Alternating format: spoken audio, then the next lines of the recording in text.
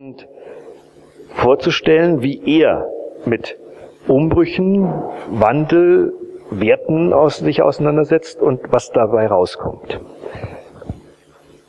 Für mich ist es wirklich etwas Besonderes, dass wir die Chance haben, Ihnen heute hier zuhören zu dürfen. Bitte sehr.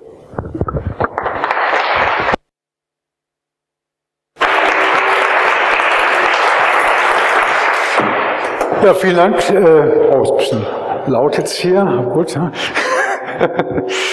ähm, vielen Dank für die Einladung Natur und Kultur und vielen Dank für äh, Robert Strauch für den für den Vortrag über Kultur der Schrift, die auf den Ort bezogen ist, nämlich wie der Natur, äh, sich aus der Natur entwickelt hat und damit eigentlich den, den Faden gefunden hat zu Natur durch Kultur.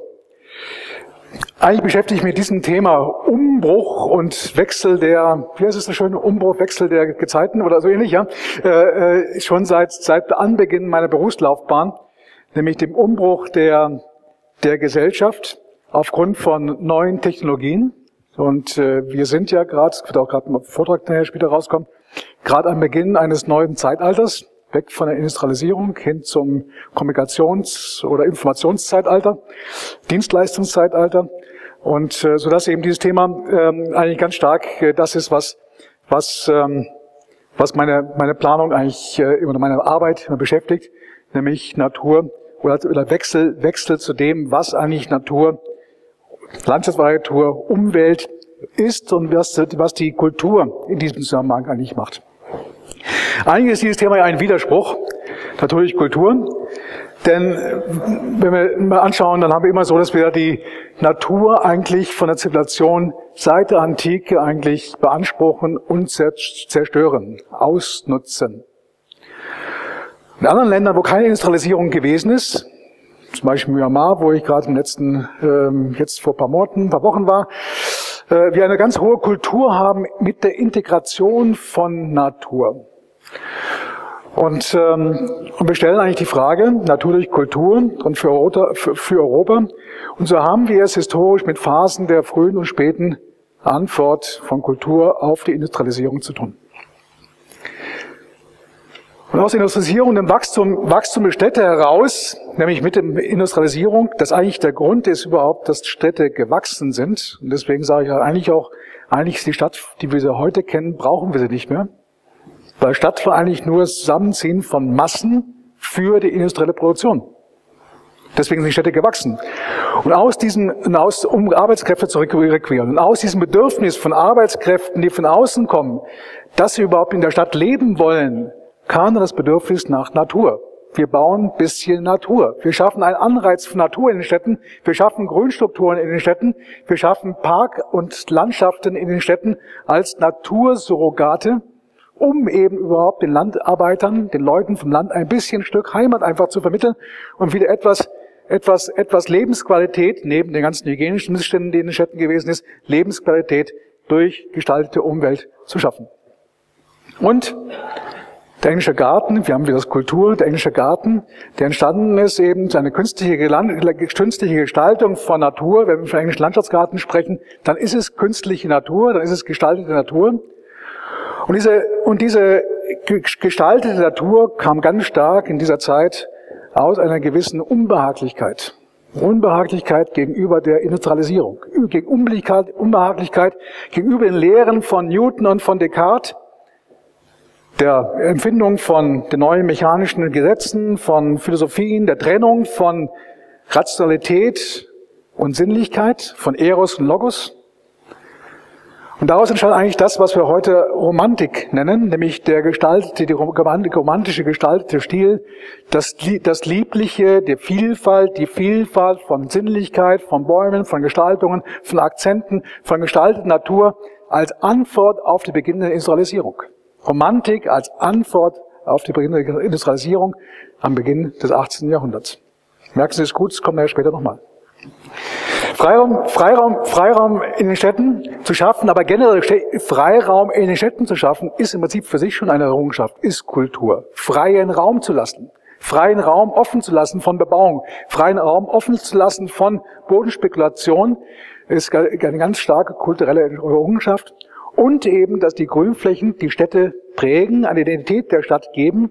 Ich sage immer, der, der Freiraum, der Freiraum ist die Visitenkarte einer Stadt. Straßen, Plätze, Parkanlagen ist das, was eine Stadt eigentlich ausmacht, Identität einer Stadt. Und deswegen ist es so wichtig eben, dass die grünen Strukturen die Stadt, die Stadt eben, äh, die Stadt strukturieren und eben, äh, eben Identität stiften von den Nutzern, von der Bevölkerung, von den Bewohnern wahrgenommen werden. Grünflächen sind ja nicht nur, nicht nur, nicht nur Surrogate von Landschaft, sondern sie sind eben etwas, was eben Inhalte vermitteln, Formensprachen vermitteln.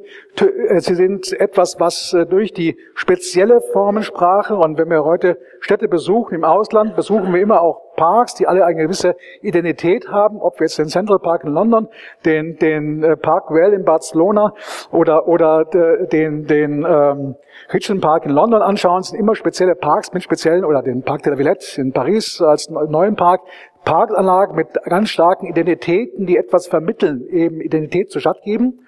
Und eben, dass solche Parkanlagen ganz stark eben Orte sind, die das Leben in der Stadt, äh, ähm, den Gebrauch in der Stadt, das öffentliche Leben repräsentieren, dass sie eben etwas sind, wo eben, wo eben das Leben, der Freiraum, der Freiraum in der Stadt genutzt werden sind und sind eben keineswegs selbstverständlich sondern sie sind eben Errungenschaft und sind etwas ganz was Besonderes für Städte, nämlich die Grünflächen in den Städten als das, was eben, äh, ähm, was eben Lebensqualität, Lebensqualität vermittelt. So, jetzt ist Ende, Schluss. Jetzt sind wir auf dem Beginn der Neuzeit, nämlich der Abschied vom Fordismus.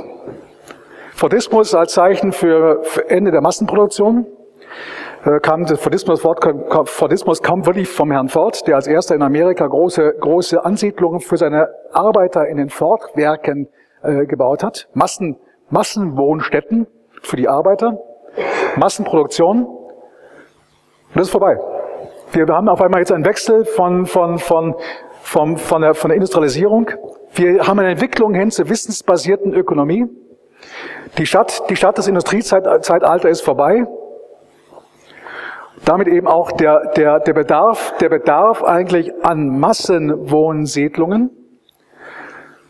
Und die Stadt und die Bevölkerung erwartet von der Stadt eigentlich ganz andere Qualitäten. Aufgrund eben der, der Trennung, die aufgrund der Produktionsformen der Industrialisierung gewesen ist, hier ist Arbeitsstandort, da ist Wohnstandort, Wohnstätte und Schlafstätte. Aufgrund dieser neuen Gesellschaften gibt es auf einmal ganz andere Anforderungen. Denn wir arbeiten zu Hause, weiß nicht, viele von Ihnen arbeiten auch zu Hause, mal schnell. E-Mail, E-Mail, Internet, Vernetzung ist überall da. Die Ansprüche an den Wohnraum steigen ganz gewaltig. Mehr Wohnraum, mehr Wohnen im Grünen, mehr Freiraum, mehr familienorientiertes Wohnen. Homeoffice machen, dort eben auch mit Nachbarn im leben. Und die Ansprüche an die Arbeitswelt verändern sich total. Große Konzerne wie Siemens bauen keine Bürogebäude mehr, sondern nur Konferenzzentren. Wir treffen uns dort zum Austauschen mit Kunden, mit Mitarbeitern. Dann geht jeder wieder zu seinen Kunden, wieder geht wieder raus. Und da ändert sich die ganze Anforderung an die, an den, an den Firmenstandort oder eben Wohnen und Arbeiten, Wohnen und Arbeiten, äh, Wohnen und Arbeiten äh, kommen zusammen. Und es gibt eine, ein, ein, eine Wanderung, eine Wanderung von von Arbeitskräften in gewisse urbanen Zentren, die auch eine gewisse Lebensqualität vermitteln. Und zwar Lebensqualität, die ganz stark eben auch von Grün, von Grün dominiert werden. Natürlich werden, werden die neuen urbanen Zentren ganz stark geprägt eben von den normalen, normalen Ressourcen, nämlich äh, Arbeitskräfte, Zuliefermärkte, Kommunikationsinfrastruktur, äh, ähm, äh, Prioritäten, aber eben auch ganz stark eben geprägt von von eben den, den Aspekten der Umwelt und des Grüns. Und wenn wir die Binnenwanderung gerade der jungen Generation anschauen, dann sehen wir, dass wir in den letzten Jahren eine ganz starke Zuwanderung haben in gewisse Regionen und damit eben einen ganz starken Wechsel haben zwischen schrumpfenden Regionen und stark wachsenden Regionen. Und das ist ja ein Phänomen in Deutschland, dass wir viele Regionen, also gerade in den, in den neuen Bundesländern, ganz stark schrumpfen und andere Regionen ganz stark steigen. Und deswegen ist auch die ganze Wohnungspolitik äh, und äh, äh, Baupolitik in Deutschland sehr, sehr heterogen, weil es gibt keine, kann keine einheitlichen Förderungen mehr geben. Wir werden es alles von den Wohnungspreisen hier in München im Gegensatz zu Wohnungspreisen in Leipzig oder in, in, in, in Cottbus, was ich so sehen, äh, Riesendifferenzen. Und die Leute ziehen eben dahin, wo eben entsprechende Qualitäten da sind. Dort, wo, wo Lagewerte da sind, in Form von Landschaft, von Freiraumqualität, von hohen Aufenthaltsqualitäten. Und gerade München ist eben die Natur, die Stadtlandschaft ein ganz groß, hohes Plus für den Standort München, wissen wir alle selber. Und äh, das ist eben das, was die neue Generation eben haben möchte, dass speziell eben auch die neuen jungen Eliten, die Kreativmilieus, eben diese neuen wissensorientierten Dienstleistungs, äh, Tätigkeiten ganz stark eben das Thema Umweltbewusstsein und Leben in der Natur als eines der wichtigsten Standortfaktoren für sich heraussuchen, sagen, da gehen wir hin, da wollen wir leben, in der Stadt wollen wir leben, da wollen wir arbeiten, das ist unsere Lebensgrundlage. Und deswegen ist eben wichtig eben gerade der Faktor Grün eben als Qualität, Qualität innerhalb innerhalb der, für diese neuen wissensbasierten Ökonomien. Da sehen wir hier ganz gut, wie ganz stark eben dieses wissensintensive Gewerbe hier ganz stark ansteigt in den letzten, letzten Jahren, im Gegensatz zu den normalen, normalen, normalen Gewerbe, äh, äh, verarbeitetes Gewerbe oder auch das normale nicht wissensintensive verarbeitende Gewerbe ganz stark runtergeht, also Industrieprodukte gehen ganz, ganz runter. Äh, äh, es geht das Wissens, wissenintensive Dienstleistung ganz stark nach oben. Und diese Wissensarbeit der Zukunft bevorzugen Orte, die divers, tolerant und für neue Ideen offen sind. Die wollen, nicht, die wollen auch vom Grün her nicht den Baum haben. Die wollen nicht Grün als Dekoration haben. Sie wollen, die wollen Grün und Freiraum mit Konzepten haben. Die wollen Grün und Freiraum haben, wo, wo sie sich wiederfinden, wo sie leben können, wo sie Anspruch haben können, wo sie eine gewisse Kultur haben, Natur als Kultur haben, die die kulturelle Identität des Ortes ist ganz wichtig. Das Image der Stadt, des Lebensraums eben wird charakterisiert durch Grün und damit eben ganz, ganz speziell eben für die neue, junge neue Generation äh, Orte geschaffen, die eben Lebensqualitäten vermitteln. Orte mit einer soziokulturellen Topografie, und das ist eben auch ganz wichtig, dass eben nicht nur Kultur ist, sondern dass gerade das Soziale, die Gemeinschaft, die sich im Freiraum wiederfindet, äh, ganz stark oben an der Prioritätenliste steht. Im heutigen Standardwettbewerb erfüllen die urbanen Gärten und Parks weitaus mehr Funktionen als nur die Naherholung, nur für die Naherholung und die klimatischen Bedürfnisse. Nämlich eben das, was wir so schön im englischen Garten sehen oder sonst irgendwo sehen. Das Treffen, das Launchen, das Abhängen auf der Wiese, Abhängen mit Gemeinschaften, Treffen irgendwo im Grünen, in der Gemeinschaft, die Gesellschaft, die Familie, die Freunde, Freundeskreis, die ganze Lebens Gemeinschaft eben im Grünen, im Grem zusammenfinden und dort gemeinschaftlich grün genießen und leben. Leben im Grün. An dieser Stelle der kleinen historischen Skizze schließt sich der Kreislauf der Bedeutungszuweisung gegenüber der Natur von der Antike bis heute und kennzeichnet die Natur als konstante gesellschaftlicher Werte und kultureller Orientierung die Natur als Konstante. Das ist ein ganz wichtiger Aspekt, weil, auch wenn wir so schön über wissensorientierte neue Technologien sprechen, haben wir absoluten Stress damit. E-Mails an jede Ecke, wir schreiben, alles geht ganz rasch und ganz schnell und wir haben gewissen Wissensstress, Terminstress, äh, Koordinationsstress und jeder von uns kennt das ja einfach, wie stark eigentlich diese Zeit uns auch mitnimmt, diese neuen Technologien. Und auch neuen, die neuen Technologien, die auch teilweise für uns teilweise unkontrolliert sind, äh, der, der, der Personalausweis, der in, im eingepflanzt wird, womit, womit überall ortbar sind, überall identifizierbar sind, keine Utopie, alles Realität.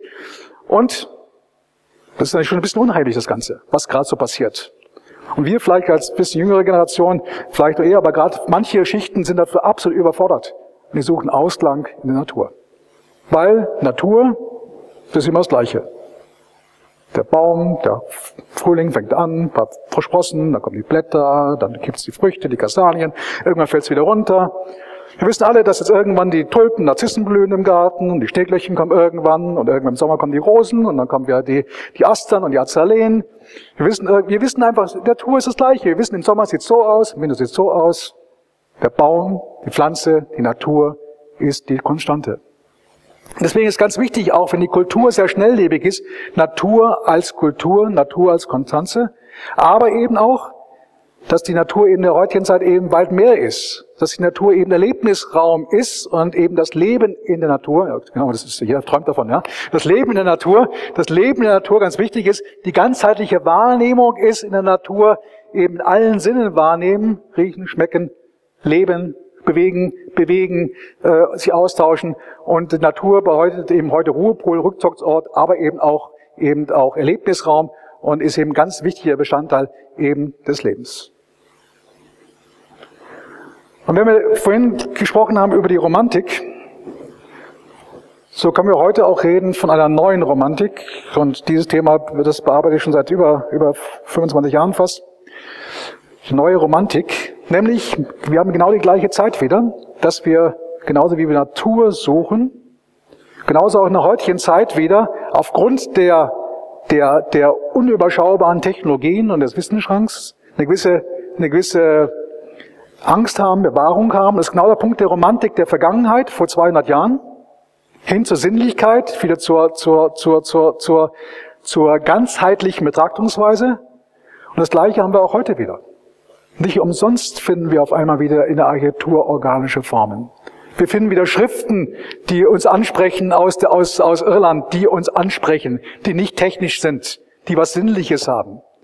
Und genauso ist der Punkt eigentlich, dass wir, dass wir in der Zeit heute das Gleiche haben wie bei Descartes und Newton. Heute ist es eben Apple und, und, und Intel und was ich sowas eben, die uns Angst machen und, äh, und damit eben eine, eine, eine Antwort suchen, wieder als neue Romantik eben den ganzheitlichen, die ganzheitliche ganzheitliche Wahrnehmung wieder haben, das Sinnliche und das Rationale haben und das, finden wollen in der Natur und, äh, und eben äh, in der Natur eben glücklich und zufrieden sein, Bedürfnisse ausleben, gleichzeitig sowohl rational, auch als sinnlich, emotional etwas, etwas äh, wahrnehmen und eben auch nicht nur Baum und Strauch und Rasen, sondern eben auch in der Formensprache organische Formen aufnehmen wollen, die wir überall in den Formensprachen der heutigen Zeit heutigen Zeit finden und deswegen auch das, diese zeitgenössischen Art zu leben und zu formen in organischen Formen eigentlich wiederfinden, in der Materialität, in den Formensprachen und, und ähm, eben über diesen Ansatz der Organik ganz andere neue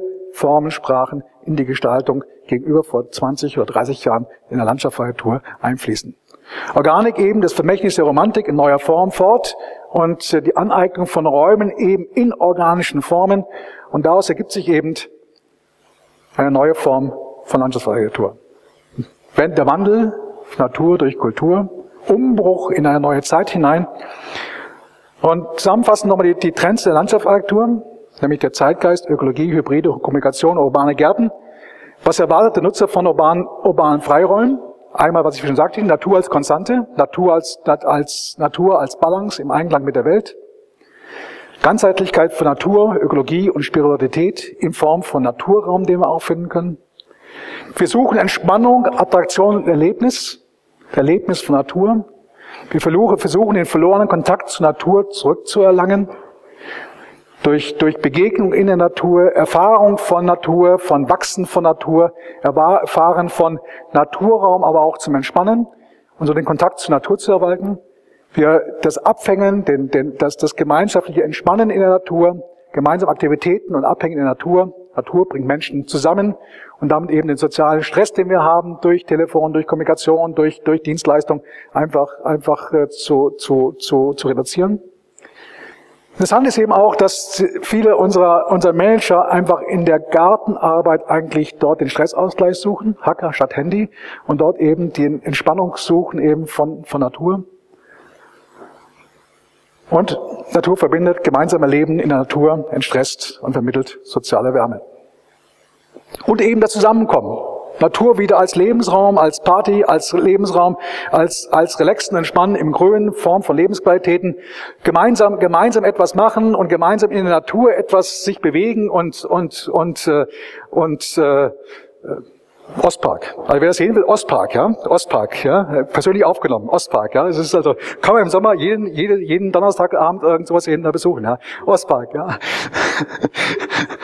Und gemeinsam etwas machen in der, in der Natur und sich dort, dort eben belegen. Und es ist auch so, dass ja das, die, die Abläufe in der Natur ganz anders waren. War es früher noch spazieren gehen, wenn ich zu meinem Sohn sage, wir gehen spazieren, dann sagt er, äh, wie ist ja? Wenn ich aber sage, wir gehen jetzt irgendwie äh, skaten oder, oder Slackline gehen in, in, im, im englischen Garten, so ist eben ganz begeistert, weil sich eben auch aufgrund unserer Gesellschaft das Verhalten in der, in der Natur geändert hat und eben äh, eine ganz andere Bewegungsform in der Natur abläuft. Zusammenkommen in der Natur, kreativen und kommunikativen Raum schaffen in der Natur, aber eben auch das Eintauchen in Scheinwelten. Scheinwelten. Leben in Scheinwelten ist auch nichts Neues. Das hat schon, schon, schon Lené gemacht in, in Sanssouci in Potsdam mit seinen äh, italienischen Bädern. Und äh, das hat das hat Skell gemacht mit dem, mit, dem, mit dem englischen Garten, mit dem chinesischen Turm. Es ist auch im Prinzip eine Scheinwelt, wo wir eintauchen. Ähm, Scheinwelten jeder Form, ob wir es auch mit, der, mit dem Westpark, mit den, mit den Gärten von der IGA dort haben, mit dem chinesischen und japanischen und, und asiatischen Gärten dort. Scheinwelten, aber generell das Eintauchen in Scheinwelten, das Verlangen nach Unterhaltung und Spaß in der Natur, Schaffung von Erholungsräumen, die etwas, etwas anderes, anderes symbolisieren und dieser Spaß, das ist jetzt hier Ocean Dome in, in, in, in Japan, aber sowas finden wir jetzt inzwischen ja auch hier bei uns äh, in, in Tropical Island, in der Nähe von Berlin, oder auch oder auch die Scheinwelten hier in Erding, äh, äh, die dort eben äh, äh, tropisches Flair vermitteln.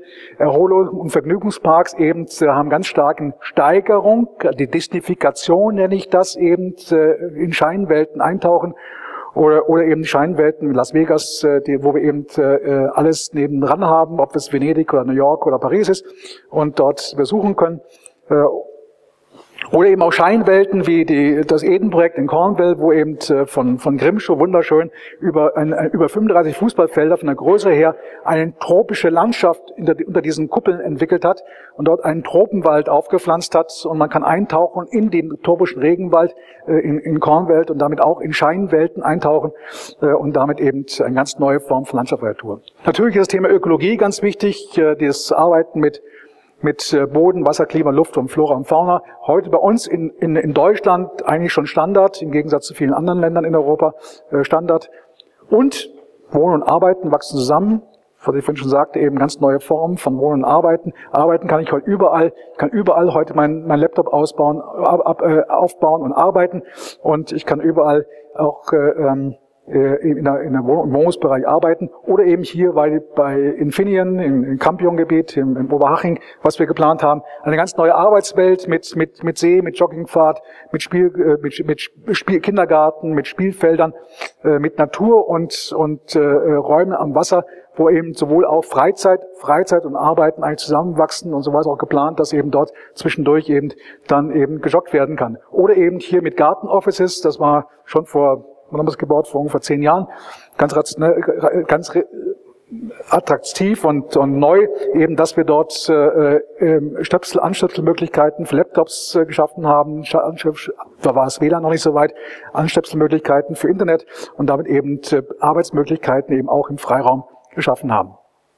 Übrigens etwas, was, was ja unser ehemaliger Verteidigungsminister Gutenberg ähm, der, seine Sicherheitsleute zur Verweisung gebracht hat, der alle Besprechungen immer im Freiraum machen wollen. Da hat seine Leute mitgenommen, waren, liegen liefert dauernd im Garten herum, arbeiten im Freien und äh, die Sicherheitsleute sind immer fast ausgeflippt. Aber das äh, ist eben eine ganz neue ganz neue Generation und eben auch hier in Unterhaching nebendran ist Naturraum, ein Naturpark, ein Volkspark äh, mit, mit äh, Wiesen, mit Wiesen aus dem heimischen Saatgut und Spielfelder, die eben von den Mitarbeitern aber auch von den Bürgern von Daching auf dem Firmengelände dort genutzt werden können. Oder eben auch hier äh, ähm, Seminaris in, in Berlin-Dahlem, in der, in der, bei der FU, ein Hotel- und Konferenzzentrum mit einer, einer, einer, einer, einer fast schon, schon Scheinwelt und, und, und abstrakten und unwirtlichen Umgebung, um eben in eine ganz besondere Scheinwelt hereinzukommen, arbeiten, arbeiten und Kongresse in einem ganz besonderen Ambiente, um damit eben, eben neue Form des Abends zu haben, äh, neue Form des Arbeitens zu haben. Kommunikation ist ganz entscheidend in der Freiraumgestaltung. Kommunikation und hier die Highlight Towers in der Parkstadt Schwabing, wo eben um die Hochhäuser rum unten, unten die, die äh, Möglichkeiten sind, sich eben dort hinzusetzen und den Freiraum zu genießen, um dort eben zwischen den Arbeitspausen eben dort, dort eben Kommunikation zu betreiben und nicht nur, nicht nur in Büros sitzen, sondern eben äh, Kommunikation und äh, Zusammensitzen im Freiraum, die Kommunikation, ein ganz wichtiger Bereich. Und ganz entscheidend auch für den Trends in der Freiraumplanung, urbane Gärten, urbane Landwirtschaft, das ist ein ganz neuer, ganz wichtiger Trend in der heutigen Zeit. Weg von den Tomaten von Tengelmann und von Rewe und von Real, was ich sowas sehe, sondern hin zu den angebauten, angebauten eigenen Tomaten und eigenen, eigenen, eigenen Gemüse.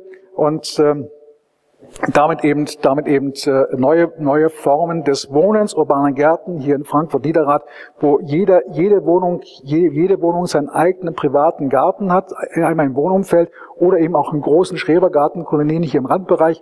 Und jeder, jeder hat in Hausnähe im Prinzip sein eigenes kleines äh, Gartenland äh, zum, zum, zum Bewirtschaften. Oder auch hier die Prinz-Eugen-Kaserne im Johanneskir Johanneskirchen äh, Cosima Straße, die wir da gerade neu, neu planen, äh, eine ganz neue Form von Wohnen, ein, fast, ein Zusammenfassen von Clustern, von Geschosswohnungsbau, von, von, von, von Reihenhäusern, von Stadtvillen und von Atriumhäusern. Und in der Mitte gibt es einen gemeinsamen Bereich fürs gemeinsame Gärtnern. Und so gibt es immer kleine, kleine Dörfer, kleine Dörfer und ringsherum ist Natur. Und äh, in diesen kleinen Zentren hier, das sind Bereiche, Bereiche, wo man urban gärtnern kann, wo Beete sind, äh, wo jeder seine, seine, seine, seine eigenen Tomaten, Kürbisse oder Auberginen anbauen kann und das Ganze eingebettet in Natur. Das heißt also Soziotainment, Entspannung und äh, Erlebnis ist das, was wir, was wir eigentlich heute suchen und das versuchen wir, und das versuchen wir zu planen.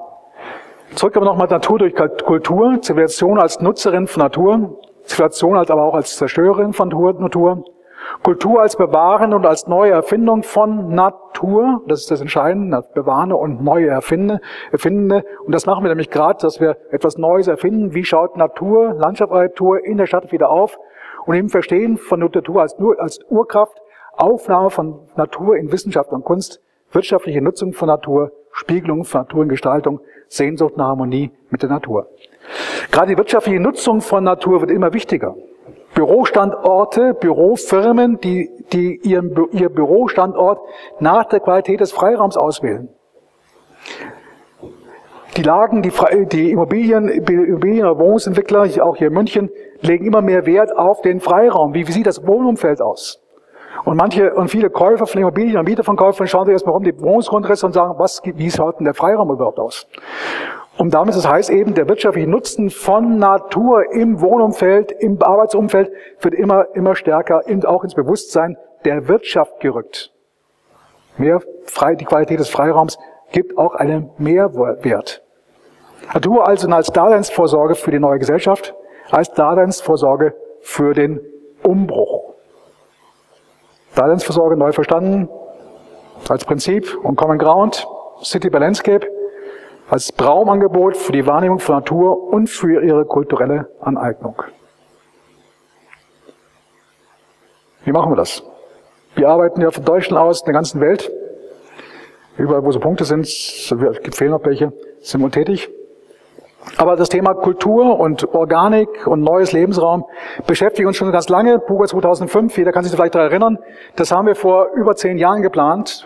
2000 war der Wettbewerb vor über zehn Jahren und wir haben damals schon das Thema Natur, Kultur, Organik und Eventlandschaft, nämlich Distifikation im Prinzip unsere Planung eingebracht, um damit eben eine ganz neue Form von Gartenschau zu entwickeln. Wir wollten ganz bewusst, und das ist uns auch gelungen, ganz bewusst mit Gartenschau jemand ansprechen, der normalerweise nicht dahin geht. Nämlich speziell gerade die die, die Manager, die Wissen, die, die, Wirtschafts, die Wirtschaftsgeneration, die, die eigentlich normalerweise zur Gartenschau, wo eigentlich normalerweise Lieschen Müller vom vom, vom Gartenbauverein oder vom Kaffeeclub hingeht, äh, ähm, ähm, äh, ähm, das nicht wollten, sondern ganz speziell neue, neue, eine neue Kundschaft ansprechen.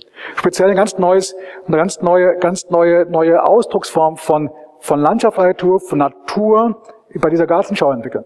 Indem wir einfach zum Beispiel Strukturen, die wir mikroskopisch angeschaut haben von Pflanzenbildern, in Gartenbilder umgesetzt haben indem wir, indem wir Zellgärten angelegt haben mit immer mit Themen drin. Das Nest, das Nest, das, das, die Fuge. Die Geschichte war die, die, die noch nicht da waren bei der Gartenschau 2005. Beim Eingangsbereich, im Kauf der Eintrittskarte, sind sie gestrumpft auf einen Däumling. Und haben aus der Vision, aus, der, aus dem Blickwinkel eines Däumlings die Natur wahrgenommen. Also sie rumgelaufen dann in dem Vogelnest. Und das Vogelnest ist auf einmal so groß. Sind Vogel rumgelaufen in der Wiese auf Mäusepfaden und haben, haben die Flöhe husten gehört. Oder sind eben durch das Fugenbild eines Pflasterbelags durchgelaufen und es lief das Wasser runter. Und das war das Konzept von der Gartenschau, Perspektivenwechsel. Und das war im Prinzip eine Distifikation, Eventlandschaft, eine neue Form von, von Natur, eine Verfremdung von Natur und äh, damit eine ganz neue Eventlandschaft für eine neue Gesellschaft. Wahrscheinlich war sie zu früh, die Gestaltung. Auch, wahrscheinlich wäre sie heute bedeutend erfolgreicher als damals, weil sie eben ganz was Neues gewesen ist. Neue Form von Gärten, Verantwortung von Pflanzen und damit eben eine ganz neue Gestaltung von Natur, von landschaftlicher Natur, als Ausbruch von einer neuen, neuen, neuen Gesellschaft. Zellengärten, Zellengärten mit den verschiedenen Themengärten drin, war alles so temporär. Und äh, die, die, die, die Tierpferde, auch das war interessant, riesengroße, wenn ich jetzt däumlich rumlaufe, dann sehen Tierpferde aus der, der Perspektive, dann ist das ganze Ding natürlich zehnmal so groß und damit eben ganz andere Wahrnehmungen eigentlich als das, was, was man normalerweise wahrnimmt. Da kam man dazu, wenn man hingekommen ist, gab es Duftautomaten, es hat ganz stark hier nach Wildschwein gerochen. Das ist wie die Tierpferde eines Wildschweins. Und, und, und, und, und hier unten, das war die Pfütze, auch ganz interessant, das war eine große Wasserfläche und da war ein großer Fußabdruck drin. Der Fußabdruck eines Menschen, träumlich Mensch. Und wenn man sich gemeinschaftlich geklatscht hat, dann ist da ganz stark Wasser rausgeschrotzt am Rand. Also auch wieder Gemeinschaft, Gemeinschaft, gemeinschaftlich etwas machen, gemeinschaftlich sich finden in der, in der Natur und damit eben, damit eben passieren kann. In Korea, in Seoul, wird gerade die Bauausstellung für Superhochhäuser geplant. Diese Hochhäuser sind alle, alle paar hundert Meter hoch und die ganze Welt der, der Stararchitekten baut hier paar Hochhäuser. Principiano, MVRDV, äh, KPF, äh, äh, ähm, Big, äh, wie sie alle heißen, die ganzen Architektenkollegen, die da als in den Top Ten, Top Ten gelistet werden. Und wir haben das Glück, das Glück, auch hier dabei zu sein, nämlich hier. Und wir haben hier zwei Hochhäuser. Jedes dieser Hochhäuser, das Doppelhochhäuser, ist 300 Meter hoch. Also dreimal so hoch wie die Häuser an der Parkstadt Schwabing, im Highlight Towers, dreimal so hoch. Und diese Hochhäuser sind für Rentner, für reiche Rentner. Reiche Rentner, Wohnhochhäuser. Und äh, hier Lageplan, hier sieht man das Bild dazu. Und ähm, diese reichen, reichen Rentner kaufen dort eine Wohnung für ab einer Million aufwärts. Und im Untergeschoss gibt es, gibt es, äh, gibt es ein Einkaufszentrum, da die Hochhäuser stehen auf dem Einkaufszentrum oben drauf. Und wir haben ein, für die einen Eventgarten entwickelt gesellschaftliches Event. Was machen Rentner? Sind nicht mehr sehr beweglich. Das heißt, die Leute, die Leute müssen zu den Rentnern kommen. Die Leute müssten zu den Rentnern kommen. Und so gesehen haben wir denen einen, einen speziellen Garten entwickelt. Einen Garten auf Zeit nennen wir das. Wir haben hier unten in, ja, in Korea ist das führende Land für LED-Technologien. Kennen ja alles, Samsung, was ich sowas eben. Wir haben hier eine LED-Plasse entwickelt, über 100 mal 100 Metern, die aufgeteilt ist in verschiedene Felder. Und diese verschiedenen Felder sind alle LEDs. Und auf diesen Feldern kann man Schach spielen, Sudoku spielen, ähm, Dame spielen, andere spielen, Chess, was ich, ähm, Spess und Tetris, was ich was ich für Spiele spielen. Und Sie können diese Spiele können Sie vom Hochhaus aus spielen.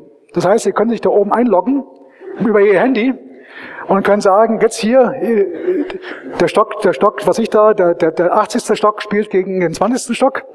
Und die beiden spielen da oben übers Handy oder über den Computer spielen die da eben dann Schach unten. Und, ähm, oder, oder Sudoku. Oder aber, wenn es wenn gerade keiner spielt aus dem Hochhaus, die haben Berechtigung, kann man auch unten hier von Spielkonsolen aus spielen. Der Event ist, dass zugleich, zugleich diese Spielfelder eingefasst sind mit Hecken und wir haben eine Form von einem Labyrinth. Ein Labyrinth. Und man sieht es hier ganz schön, Labyrinth. Und deswegen heißt es Garten auf Zeit. Wir sind einmal, wenn man hier drin ist, ist man ein Labyrinth in verschiedenen Räumen.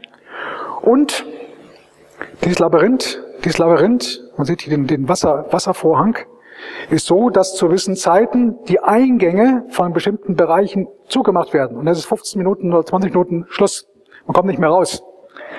Dafür gibt es aber, dafür gibt es aber, dafür gibt es aber Bänke, Bänke, die Geschichten erzählen oder aus der Musik herauskommen Garten auf Zeit. Das heißt, wir haben ein Event, ein Eventort geschaffen, wo eben nicht die Leute nur, die, wo die Leute hinkommen von außen und die Rentner besuchen. Und vor allen Dingen, es gibt dann am Abend, wenn nämlich das Sudoku, so sieht das dann so aus, das Sudoku oder das, das Schachspiel gelöst worden ist, gibt es am Abend eine riesengroße LED-Show über den ganzen, ganzen Park mit Nebeldüsen, die da überall rauskommen. Man wabbert herdurch, durch farbige Nebel eigentlich. Und es ist die große Attraktion in fünf Jahren wird es wahrscheinlich fertig sein. Die große Attraktion in Korea wird dieses Gebäude sein. So, das heißt also, die Leute von Seoul kommen eben dorthin zu den Rändern und damit eben Kommunikation, Gemeinschaft, Gemeinschaft, Treffpunkt, Treffpunkt auf diesem Platz. Das ist genau interessant, das sind Lampen, das sind Lampen, die wir entwickelt haben, die sich aus vier, vier verschiedenen Lichtern zusammensetzen, nämlich in Spektralfarben, die gemeinschaftlich weiß sind, ein weißes Licht sind. Wenn man in das Licht reintritt, schaltet man eine dieser Scheinwerfer aus. Das heißt, auf einmal wird der, der Schatten wird farbig. Und zwar je nachdem, welches Licht gerade ausgeschaltet wird. Wird gelb, grün oder rot. Und wenn man sich bewegt, wird der Schatten immer andersfarbig. Das heißt, man fängt an zu tanzen unter diesen, diesen Scheinwerfern. Deswegen sieht man hier ganz schön hier. Und das ist die Dance, die Dance Plaza. Also lauter Attraktionen um dieses Umfeld herum. So, und ähm, das vorletzte Projekt. Vorletzte Projekt. Vorletzte Projekt liegt mir ganz besonders am Herzen, weil wir mich heute, heute, heute die Mitteilung bekommen haben, dass wir dieses Projekt bauen werden. Wir sind heute ausgewählt worden als das Selected Team, dieses Projekt bauen wird für 55.000 Menschen. Das, das, ganze Gelände, das ganze Gelände hier sind 25 Quadratkilometer. Das ist fast so viel wie der ganze Münchner, Münchner Norden. Und wir bauen hier über Hochhäuser 1,8 Millionen Quadratmeter Geschossfläche. 1,8 Millionen Quadratmeter Geschossfläche. In der Mitte ist ein Park mit 5 Quadratkilometern, 5 Quadratkilometern in Guangzhou und äh, bauen dort eben dieses, dieses, dieses neue, neue, neue Stadtviertel. Hier sieht man es ganz schön, diese ganzen Hochhäuser hier ringsherum, aber auch wieder Grünzüge ringsherum, Grünzüge und Grünverbindungen ringsherum. Und das ganze Gelände hat eine gewisse, gewisse, gewisse Identität, nämlich dieses Gebiet ist momentan das Gartencenter, und zwar die, die Blumenproduktion von ganz Südchina eine ganz lange Tradition, die ganzen Rosen, die, über, die ursprünglich mal aus China gekommen sind. Die Teerose, die Teerose hat dort ihren Ursprung, wurde dort kultiviert. Und deswegen ist eine ganz alte, ganz alte Gartentradition da. Und wir planen im Prinzip den Kolkenhof von Holland in China nämlich mit Rosen, mit Rosen und mit, mit Hibiskus. Und also die, die Tulpenfelder im Prinzip, in Volland, die Rosen, äh, uns weiß es hier ist das Band der Rosen und der, der Hibiskus, was hier durchläuft, an diesen neuen künstlichen, künstlichen See.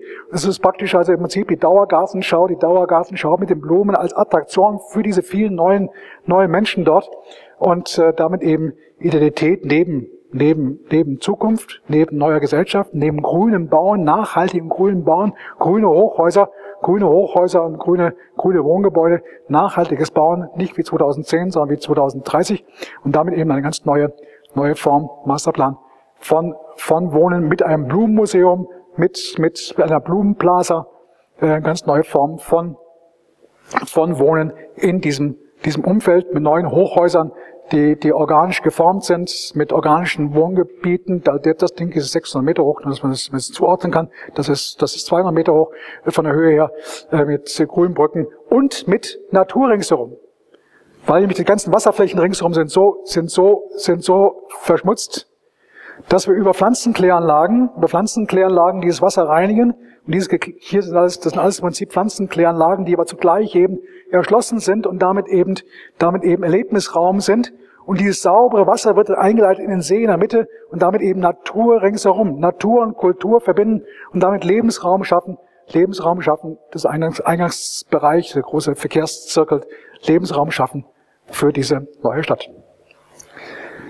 Machen wir es zum ersten Mal und damit zum letzten Projekt äh, für heute in Hangshu. Ein Gebiet,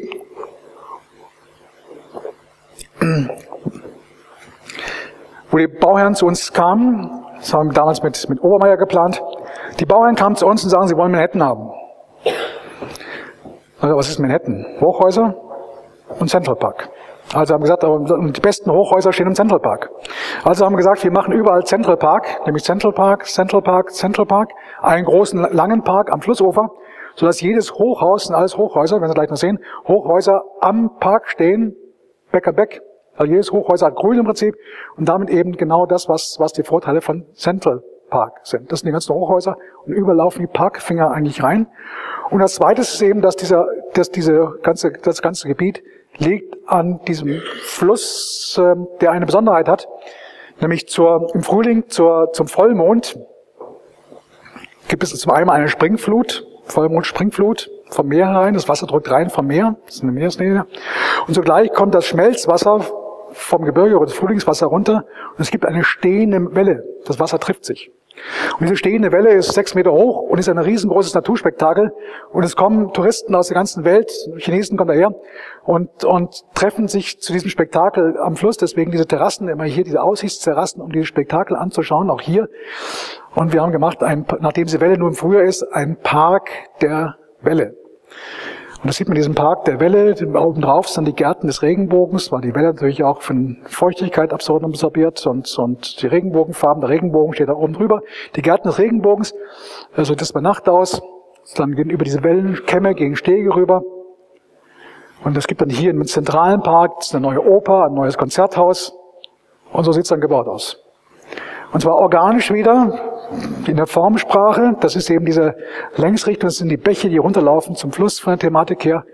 Eingebettet eben mit, mit, mit äh, Landschaften, mit, mit Landschaften, mit Wasserbereichen, mit, mit, mit Baumpflanzungen, mit äh, Auf und Ab, mit organischen Formen, mit neuer Romantik, neuer Romantik, wenn man so will, wenn der Rasen die Treppe runterläuft, das Wasser die Treppen runterläuft, äh, Wasserbecken, die sprudeln, die aber auch nicht rational geformt sind, sondern irrational geformt sind, mit einer Landschaft, neue Oper, die Konzerthalle, die eben hier einen Inhalt vermittelt, nämlich das Zickzack der Bäche, die runterlaufen zur Aussichtsterrasse. Hier unten kommt dann der Park mit den Wellen herzu, der Fluss hier vorne. Und als neues identitätsgebendes Element dieses neuen, neuen, neuen Baugebietes. Und damit Natur durch Kultur oder Schaffung von Umbruch zum Wechsel einer neuen Gesellschaft. Und wir sind in dieser neuen Gesellschaft. Und ähm, damit eben kann Landschaftsliteratur ähm, ganz so viel beitragen, dass sich eben unsere neue Gesellschaft, die ganz spannend ist, auch eben lebenswerte Gesellschaft ist und sich die Landschaftsliteratur an diese neue Gesellschaft anpasst und Lebensraum schafft für eine neue Gesellschaft in Natur, die durch Kultur geprägt wird. Schön. Danke.